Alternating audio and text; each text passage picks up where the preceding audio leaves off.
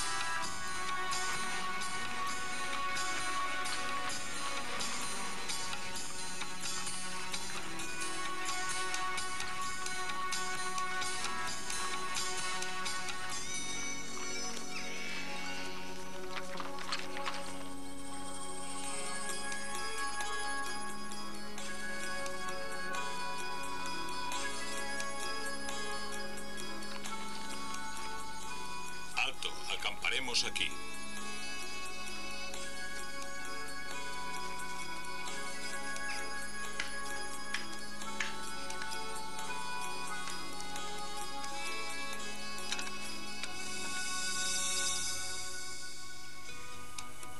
Te lo ruego, te lo ruego, dejadnos ir, por el amor de Dios. Haberlo pensado antes, amigo, pero quisiste jugar y perdiste. Ahora os venderemos a ti y a tu mujer en el mercado. Pero eso está prohibido por la ley. Tal vez por tu ley, pero no por la nuestra. Nosotros no somos israelitas. Bajad a la chica y tratadla bien. Por lo menos nos darán un ciclo de plata o dos. Recuperaremos parte de nuestras pérdidas con este desgraciado. Y en cuanto a ti, gánate el pan. Ve a vigilar las ovejas.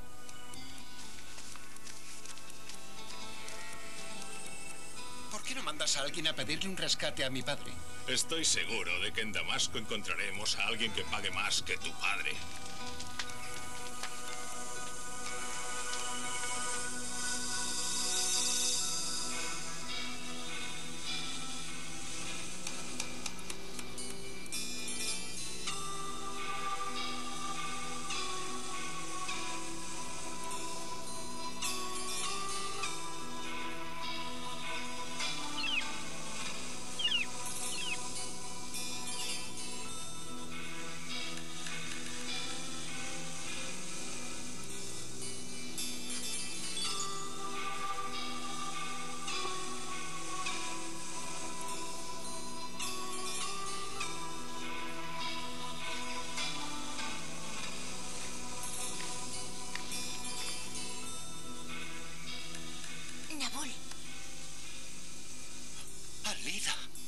Silencio. Huiré hasta Cafarnaún y hablaré con tu padre. No creo que sirva para nada.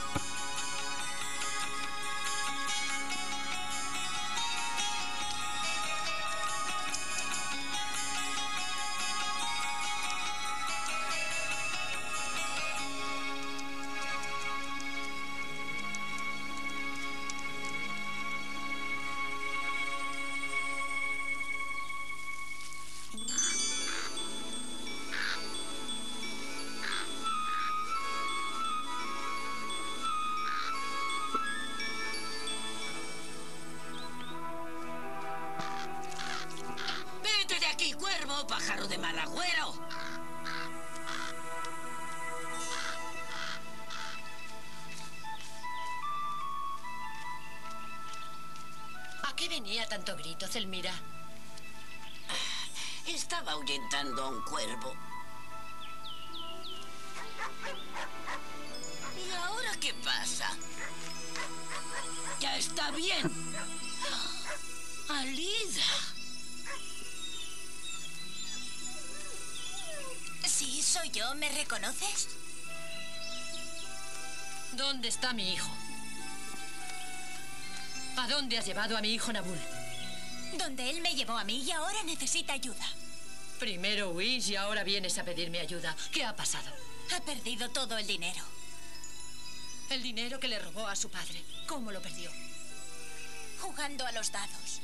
Ahora quieren venderle como esclavo en el mercado de Damasco. ¿Como esclavo? ¿Cómo puede ser? Eran viajeros de Siria, no israelitas. Yo he conseguido escapar. ¿Cuánto les debe? Creo que 100 denarios. Es increíble. Su padre no querrá pagar el rescate. Eso ya lo veremos, Delmira. Nabul también es hijo mío.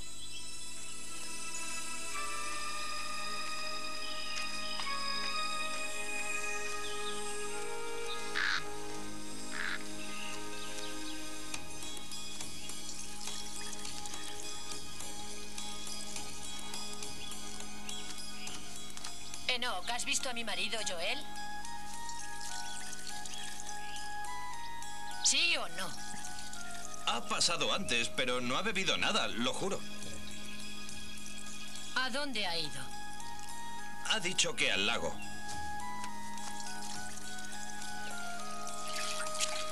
Oh, no. Yo sí que he hecho un lago.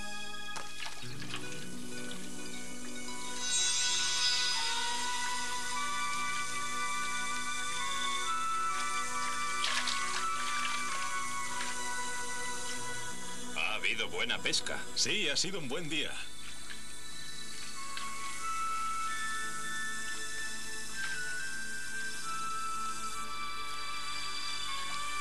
Joel, Joel.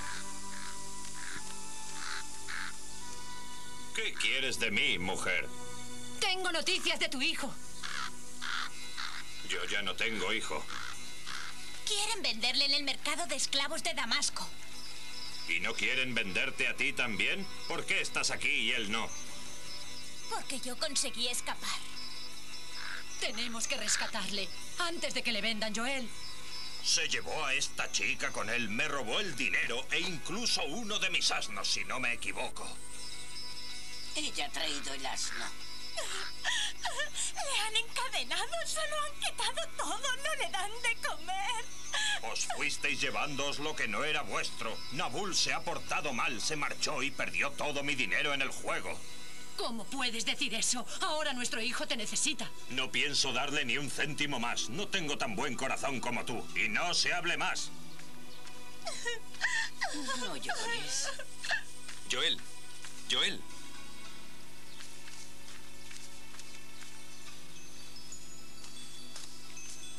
Jesús, ¿has oído lo que ha dicho? Este hombre está ciego y todavía no se ha dado cuenta.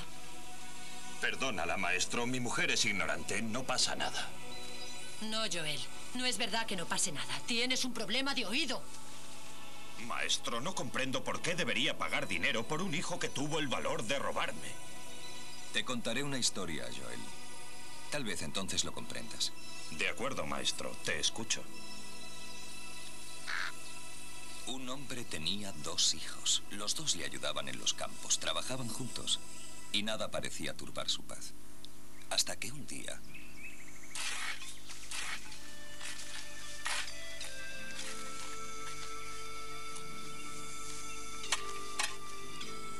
¿Qué te pasa? Ya estoy harto de esta vida.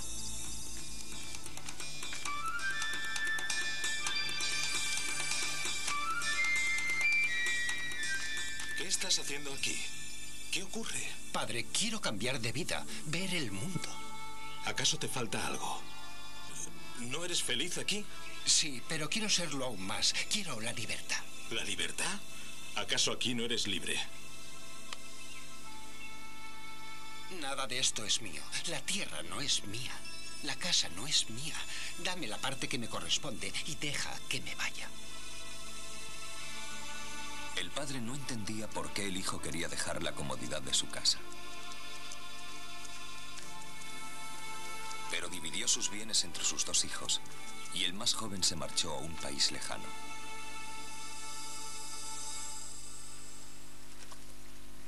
El joven empezó a llevar una vida desordenada.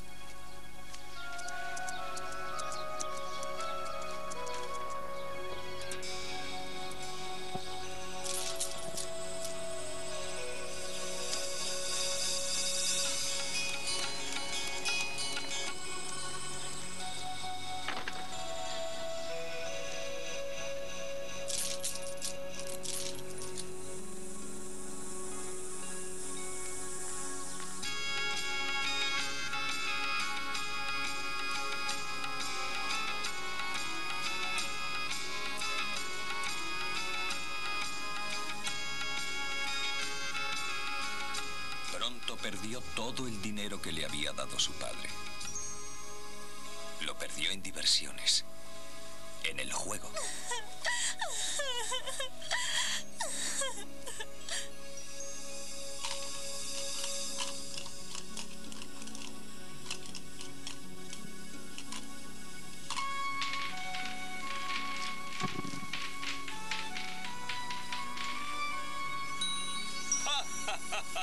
A ver si podéis superar eso.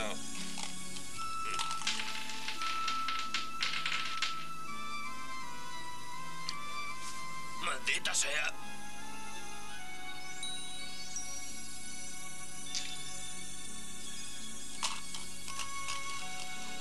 Adelante, no tenemos todo el día.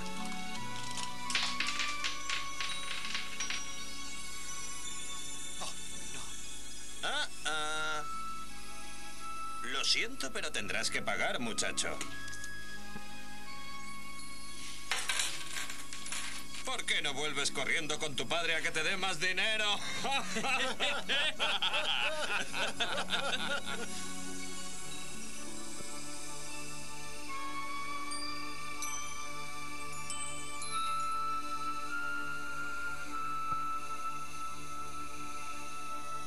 Si fuera poco, sobrevino una hambruna en aquel país. La cosecha fue escasa. No había agua. Los animales morían. El pobre chico empezó a padecer necesidad, pero su orgullo le impedía volver con su padre.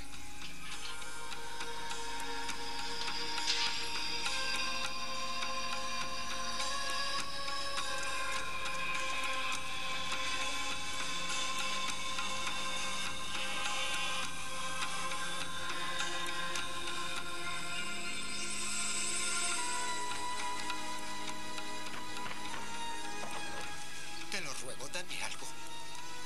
Como no te marches, te apalearé con mi bastón.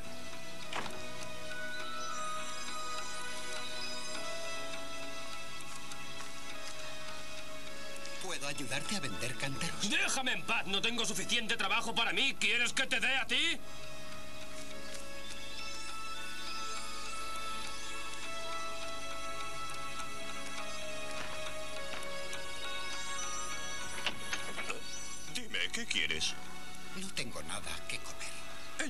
Cuidarás mis cerdos.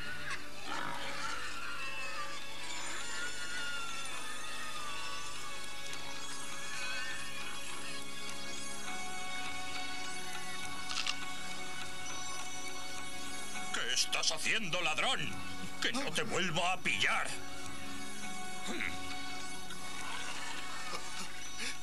En casa de mi padre tienen pan en abundancia y yo me muero de hambre. Volveré a casa de mi padre.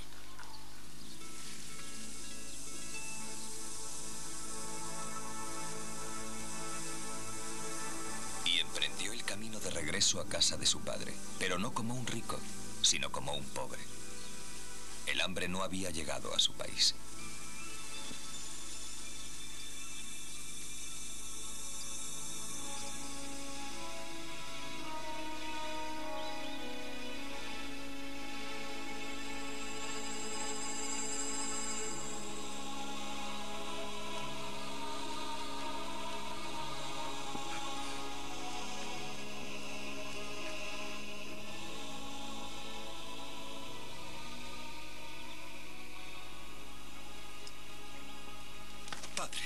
Soy digno de ser llamado hijo tuyo. Trátame como a uno de tus jornaleros.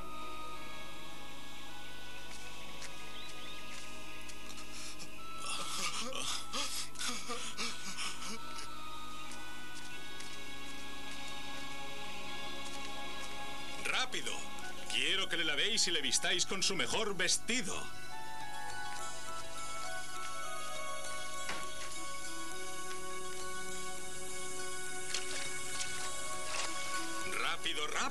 Traed el ternero más cebado y celebremos un banquete. Porque mi hijo había muerto y ha resucitado. Llamad a los amigos, que vengan todos.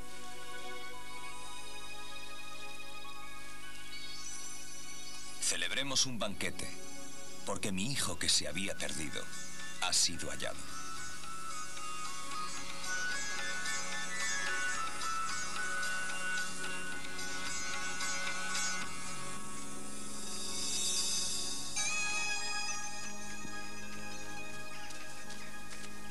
¿De dónde llega esa música?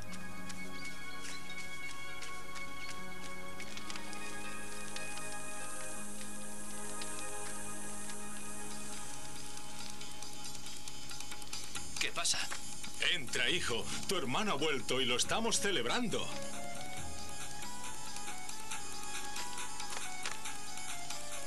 Durante todos estos años te he servido y nunca te he desobedecido.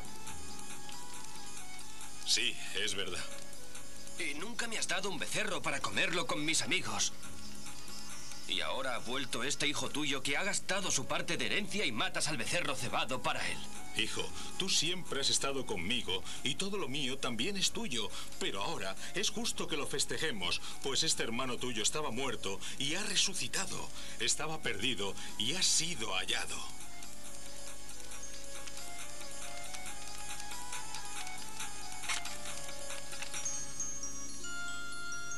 Si quieres ser justo, no es suficiente limitarse a no hacer el mal. Tienes que hacer el bien. ¿Lo comprendes, Joel? ¿Sigues diciendo que no tienes hijo?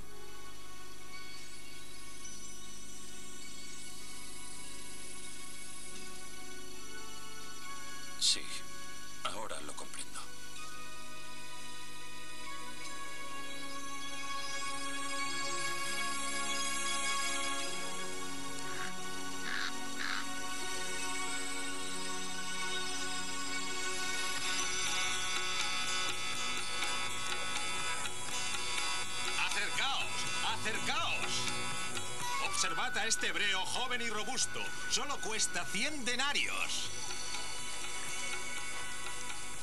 Tiene que estar por aquí. ¡Eh, vosotros! ¡Venid! Mirad, es él.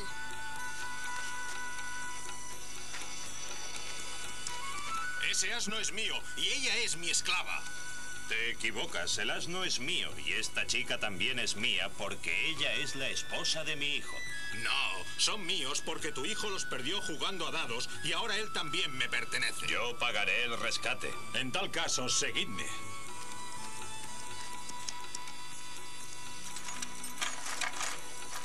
Eres libre y debes agradecérselo a tu padre, que es un hombre justo.